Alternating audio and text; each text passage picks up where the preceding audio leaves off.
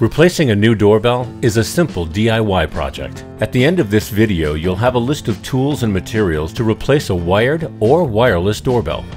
To remove a wired doorbell, first turn off the power at your home's circuit breaker. Use a screwdriver to remove the mounting screws that secure the doorbell cover. Carefully pull the button housing away from the wall. Use a voltage tester to test the wires to ensure the power is off and disconnect the wires from the button. To remove the wireless doorbell, lift off the casing and unscrew the brackets. To install the doorbell, first lightly unscrew the two screws on the back of the doorbell button. Hook each wire around a screw and tighten.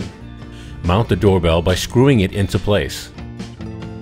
To replace the chime, first remove the cover and use a voltage tester to confirm the power is off. Use tape to mask the front doorbell wire, rear doorbell wire, and transformer wire.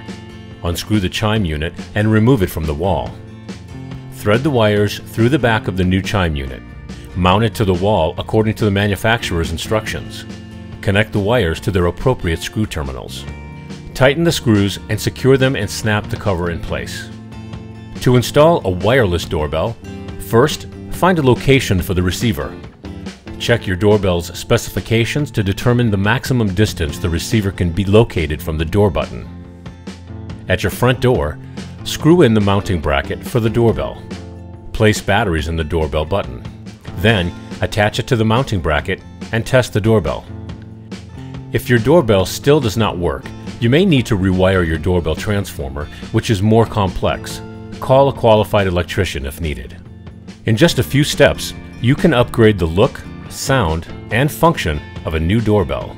Here's a list of tools and materials to replace your doorbell. Good luck, and thank you for shopping at the Home Depot.